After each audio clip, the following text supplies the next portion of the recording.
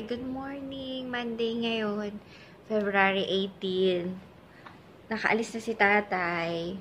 Nakaalis na si tatay. Nakain na rin kami ng breakfast.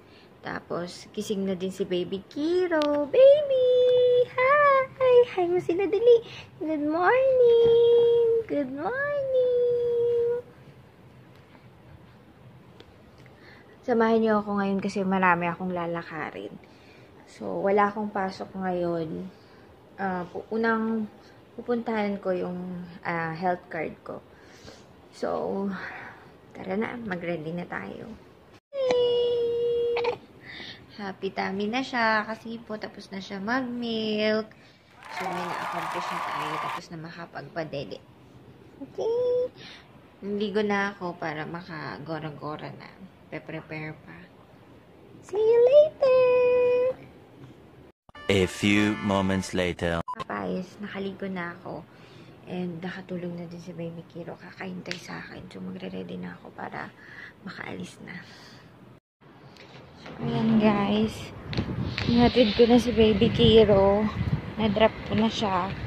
Hindi na ako nakapag-video kasi ah, dami kong dala. Hindi na kinaya ng power ko.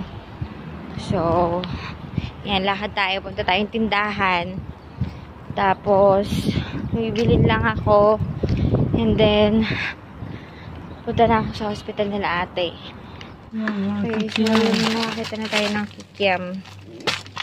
Kikiam balls. I need two. Kikiam ito ano ito dito? One more. Lipat tayo ng ibang tindahan. Kasi kikiam lang meron doon. Walang Yakult at saka C2. So, lakad, lakad. Lakad, lakad. Ayan guys, nakasakay na ako. only wait car only moving Hmm. only location on Kabili first na time ako telling ng- okay car Kabili na ako ng mga pinapabili ni ate. So, okay na. Punta na ako sa kanila. Ayan na, dito na tayo kila ate. Five hours later.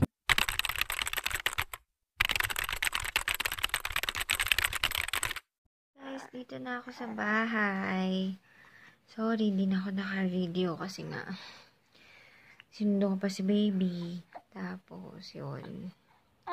Dito na si baby Kiro. Hello, baby Kiro.